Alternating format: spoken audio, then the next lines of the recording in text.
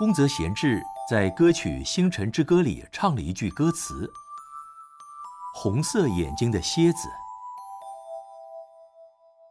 所谓“红色的眼睛”，指的就是在这个银河岸边光辉耀眼的一等星——天蝎座的阿尔法星。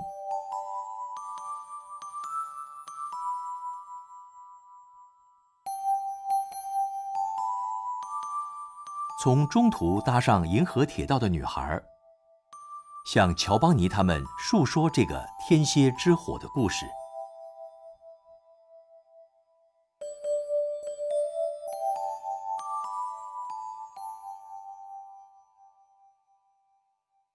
那是什么火光啊？燃烧什么东西才能发出那种通红的火光啊？乔邦尼好奇的问着。是天蝎之火。卡巴涅鲁拉对照着地图，认真的回答着问题。啊，如果是天蝎之火的话，我知道。天蝎之火是怎么回事啊？乔邦尼问着。是天蝎燃烧的火焰，传说那团火一直燃烧到现在。我听我爸爸说过了好几遍。你讲的蝎子是虫吧？嗯，蝎子是虫，不过它是好虫哦。蝎子才不是好虫嘞！我在博物馆看过泡在酒精里面的蝎子，尾巴上有这样的钩子哦。老师说被它蛰到的话就会死掉。是啊，但是它是好虫。我爸爸是这么跟我说的。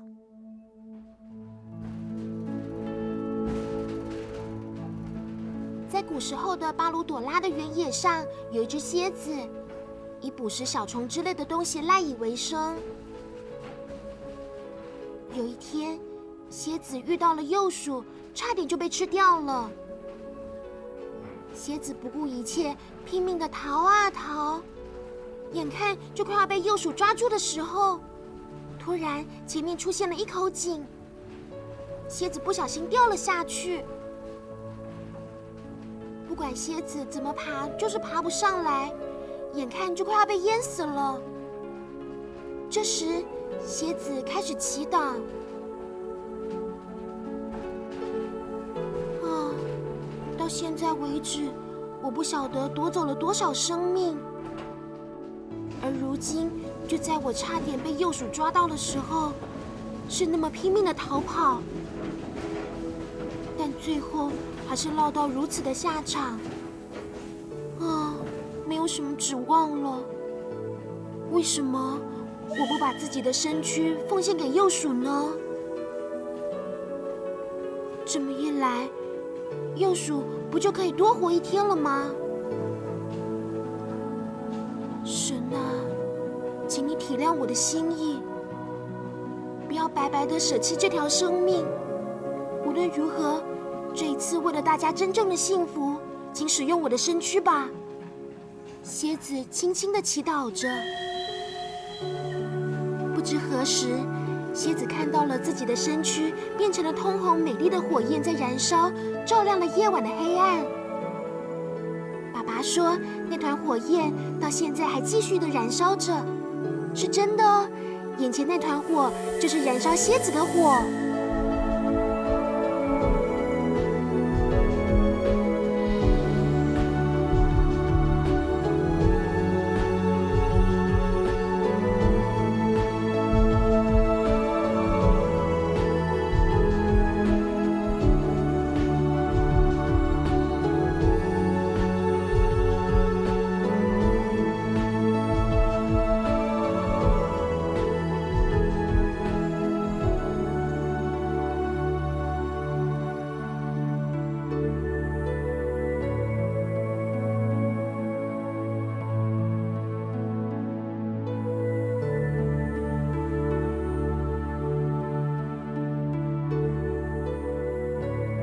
离开天蝎之火的银河铁道，沿着银河往更南的方向行驶下去。这个故事的舞台从此进入了地平线的另外一端，在日本无法看到的南半球星空。